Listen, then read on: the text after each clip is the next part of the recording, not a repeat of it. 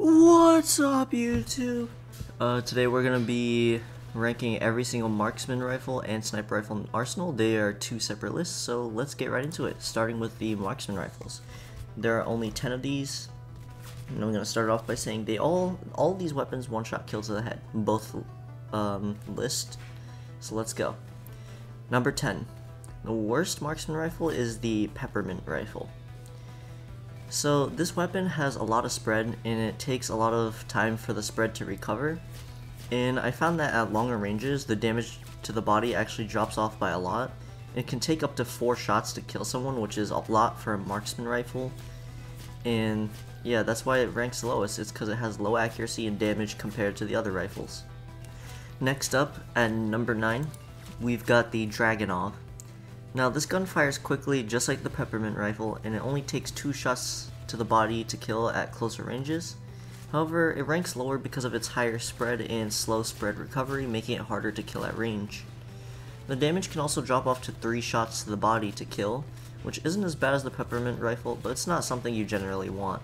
Coming in at number 8, we have the Spencer Carbine. The damage is very reliable and it only takes 2 shots max to kill if you're aiming for the body. And it also grants you double jumping abilities and the gun reloads all rounds at once, uh, unlike the next weapon, which I'll get into right now. Number 7, we got the Henry Rifle.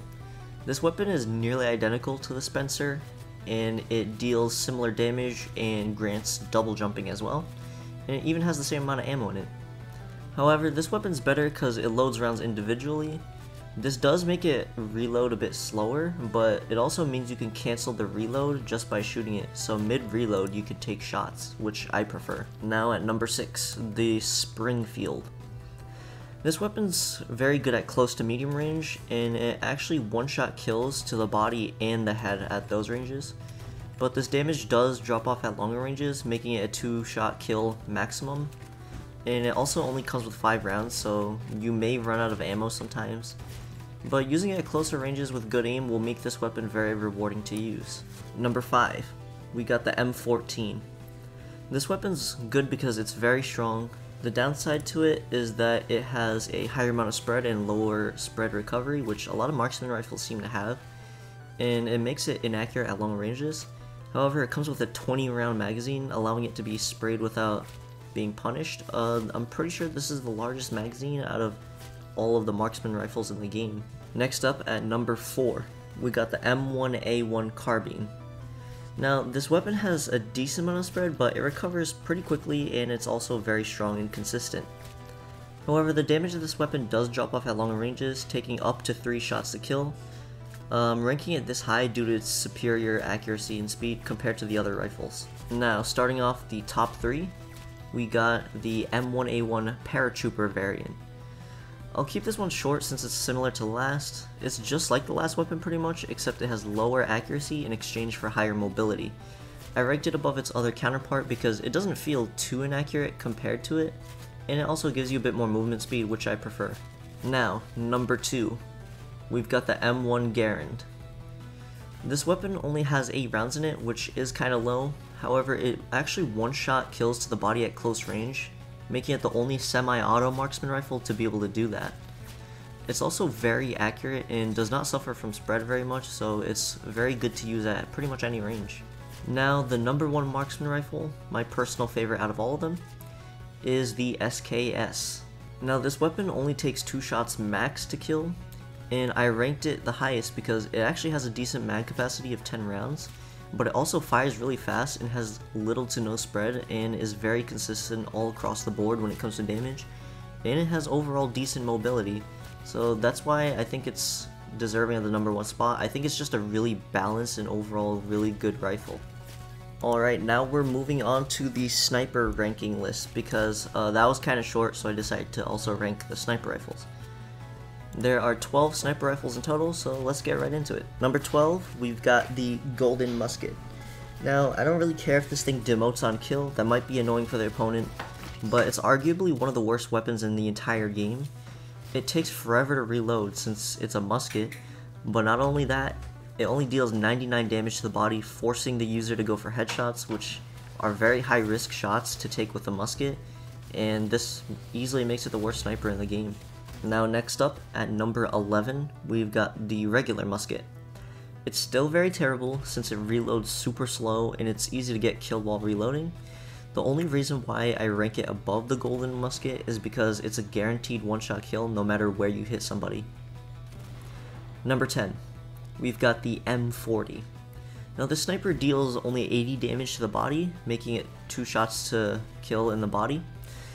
It has 25 rounds that are individually loaded rather than being mag fed, and it ranks this low because it does not one shot to the body unless the target's weak, and it also has very slow handling and its fire rate is slow for a rifle that doesn't one shot to the body or have as much power. Next up, we've got the MS556 at number 9. This gun deals 65 damage, which is very low, and it only comes with a 7 round magazine. The good thing about it is that it has faster handling, and it has no recoil as well, so it's slightly easier to hit shots with. Coming in at number 8, we've got the Sako 85. This weapon deals a pretty pathetic 60 damage for a sniper rifle, but it has way faster handling than the previous two rifles, which makes it easier to chain shots together. Like the MS556, it has no recoil, but it does fire a little bit faster, making it better and overall more satisfying to use. Coming in at number 7, we've got the Mosin Nagant. Now this weapon's very slow and doesn't have much ammo in it. However, it ranks higher than the other rifles because it has the potential to one-shot kill to the body at closer ranges, but this damage quickly drops off and makes it a two-shot kill to the body. This along with its slow handling makes it place much lower. Coming in at number 6, we've got the G3 SG1. Now this weapon can take up to 3 shots to kill someone, which is the most out of any sniper. However, it does fire pretty fast, and it still one-shots to the head. So this weapon basically exchanges body shot damage for superior fire rate compared to any other sniper, making it overall a really good sniper to use. It feels a lot more like a marksman weapon. Coming in at number 5, we've got the Pulse Musket. Now, this is the only good musket variant in the game. Uh, it does fire slowly and only have 3 rounds per mag, however it's still a guaranteed one-shot kill no matter where you hit someone, and it also has a pretty quick reload time and good handling, so overall, it's a versatile and very strong sniper rifle. Now, we got the number 4th spot, the OP. Now, this thing has a good amount of ammo in it considering the damage it deals, it one-shot kills no matter where you hit your target, which makes it worth using despite its slower handling speeds. And the only bad thing about it is that it makes you move really slow, so just make sure you hit your shots with it and you're pretty much good with it. Now at the top three, we're starting off with the Barrett.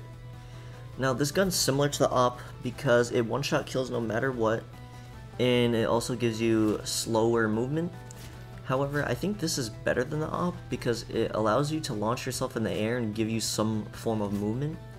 And it allows you to see everyone on the map, making it easy to pick off targets.